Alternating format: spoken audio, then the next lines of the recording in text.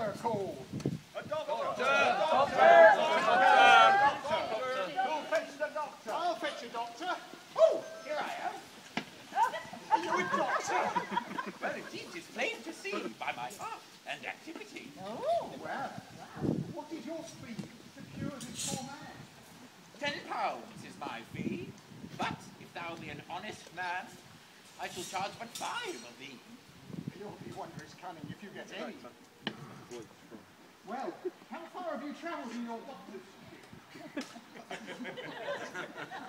I, I have travelled Italy, Italy, High Germany, France, and Spain, but now I am returned to cure disease in old England again. So far, and no further. Oh no, a great deal further. How far?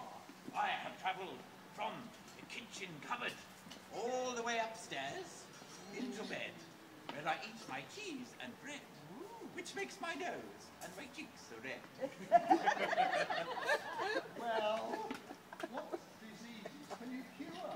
Ooh, all sorts, all sorts. They haven't got all sorts.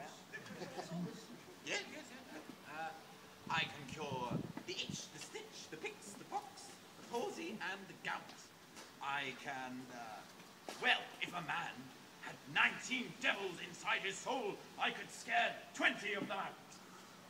In my bag, I have, you'll never believe it, I have crutches for lame ducks, spectacles for blind hummerbees, and pack saddles for, um, Broken? broken, broken little mice. I once cured poor Sir Harry of a thingy nail. A nag nail. A nag nail. That was about 55 yards long. So if I can cure him, then I am sure to cure this poor man. Right. Oh, yes, okay. yes.